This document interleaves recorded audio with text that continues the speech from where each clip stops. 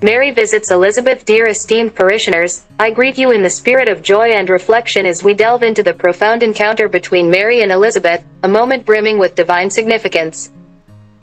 Today's scripture from Luke chapter 1 verses 39 to 45 unveils a tapestry of faith, humility, and the extraordinary grace of God.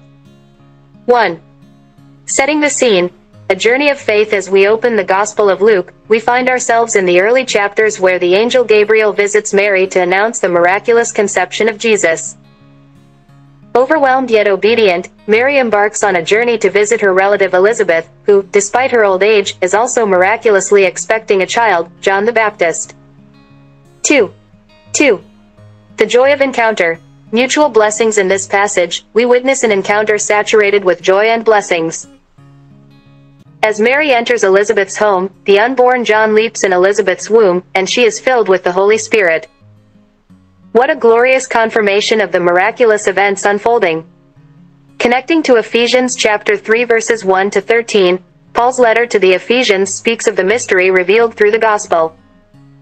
Mary and Elizabeth embody this mystery, symbolizing the unity of the Old and New Covenants. 3. 3. Humility and the Magnificat. Mary's song of praise Mary's response to Elizabeth's greeting is the Magnificat, a hymn of profound humility and praise. My soul magnifies the Lord, and my spirit rejoices in God my Savior. Luke chapter 1 verses 46 to 47. Mary's humility becomes a model for us all. Comparative reference. Draw parallels with Hannah's prayer of gratitude in 1 Samuel chapter 2 verses 1 to 10, another instance of a woman expressing deep faith and praise. 4. 4. Wisdom from Church Fathers and Saints Let's draw wisdom from Saint Augustine, who remarked, The Word was made flesh so that we might be enabled to receive spiritual power and grasp God's Word spiritually. Pope Francis's perspective Pope Francis often emphasizes the role of encounter in our faith.